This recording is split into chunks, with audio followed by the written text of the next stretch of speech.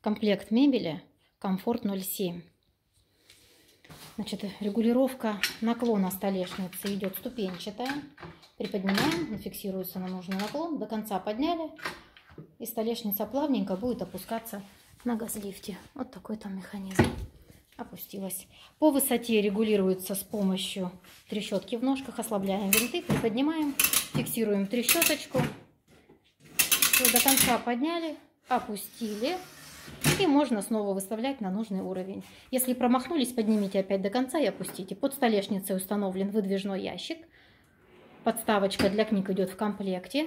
Она регулируется по наклону.